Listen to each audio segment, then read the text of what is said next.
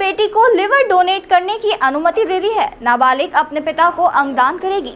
मध्य प्रदेश का ऐसा पहला मामला है, जब नाबालिग का अंगदान किया जाएगा।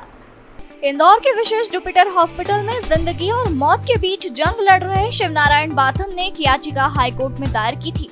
जिसमें उनकी नाबालिग बेटी के द्वारा उन्हें अपना लिवर डोनेट करने को अनुमति देने की मांग की थी, जिसमें कोर्ट ने नाबालिग को अंगदान की अनुमति दे दी है। वहीं नाबालिग को अंगदान अनुमति देने का यह मध्य प्रदेश का पहला मामला है।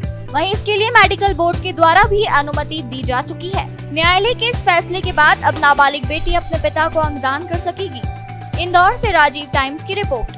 अभी वर्तमान में जो आज सुनवाई हुई है, विशाल, मिश्रा साहब की बोर्ड पर जो कि वीसी के माध्यम से हुआ है क्योंकि वो जबलपुर में बैठे हैं।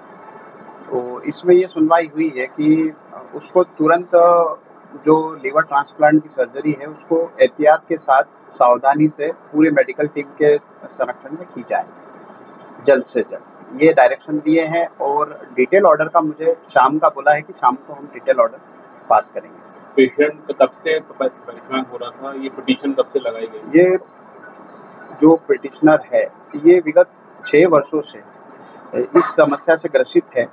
दूसरा, इसमें जब मेरे पास ये आए, तेरह तारीख को या दोपहर को मेरे पास आए, और उन्होंने बताया कि मुझे ऐसी ऐसी समस्या है और मेरी बेटी, जो कि नाबालिग है, वो मुझे लीवर का पार्ट या डोनर के रूप में डोनेट करना चाहती है।